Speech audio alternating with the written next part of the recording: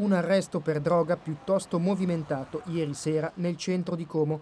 Un 27enne tunisino è finito in carcere, mentre un poliziotto è finito in ospedale con una mano fratturata. Tutto inizia dall'attività degli equipaggi della polizia di Como che decidono di controllare gli avventori di un locale di via Milano.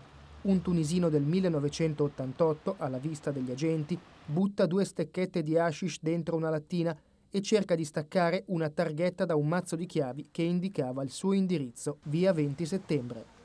Gli agenti decidono così di controllare casa del sospettato, il quale cerca di scappare. Scoppia una colluttazione nella quale un poliziotto resta ferito. All'interno dell'appartamento la polizia trova altre stecchette di hashish per un totale di poco più di 52 grammi. Il ragazzo viene arrestato per detenzione di sostanza stupefacente, resistenza, violenza e lesioni a pubblico ufficiale e portato nel carcere del Bassone di Como. L'agente di polizia ferito durante la colluttazione, medicato all'ospedale Sant'Anna di San Fermo della Battaglia, ha invece una mano fratturata.